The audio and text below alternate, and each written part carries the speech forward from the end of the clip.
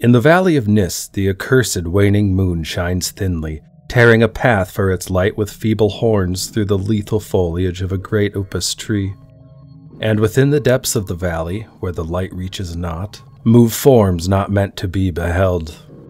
Rank is the herbage on each slope, where evil vines and creeping plants crawl amidst the stones of ruined places, twining tightly about broken columns and strange monoliths, and heaving up marble pavements laid by forgotten hands. And in trees that grow gigantic in crumbling courtyards leap little apes, while in and out of deep treasure vaults writhe poisonous serpents and scaly things without a name. Vast are the stones which sleep beneath coverlets of dank moss, and mighty were the walls from which they fell. For all time did their builders erect them, and in sooth yet they serve nobly, for beneath them the grey toad makes his habitation. At the very bottom of the valley lies the River Than, whose waters are slimy and filled with weeds.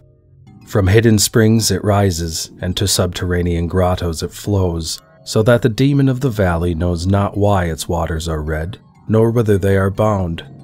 The genie that haunts the moonbeam spake to the demon of the valley, saying, I am old and forget much. Tell me the deeds and aspect and name of them who built these things of stone. And the demon replied, I am memory, and am wise in lore of the past, but I too am old.